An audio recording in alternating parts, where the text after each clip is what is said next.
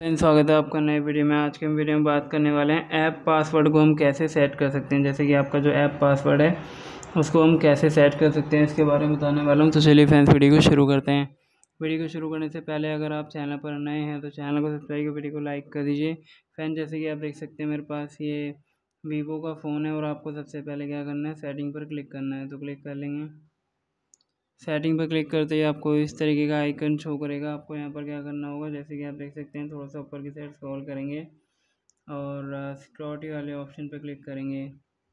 Click करने के बाद आपको इस तरीके का आइकन शो करेगा। आपको इसके ऊपर की साइड स्क्रॉल करना है और प्राइवेसी वाले ऑप्शन पर जाना है। क्लिक करने के बाद आप देख सकते हैं, यहाँ पर जो पासवर्ड है, आप इसे क्या करने वाले हैं?